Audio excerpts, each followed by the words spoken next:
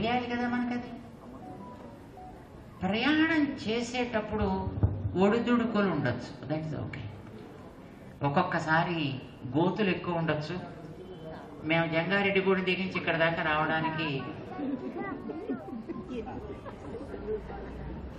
చాలా బాగుంది.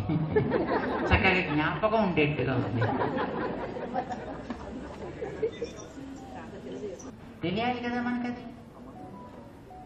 ప్రయాణం చేసేటప్పుడు ఒడిదుడుకులు ఉండొచ్చు. దట్స్ ఓకే ఒక్కొక్కసారి గోతులు ఎక్కువ ఉండొచ్చు.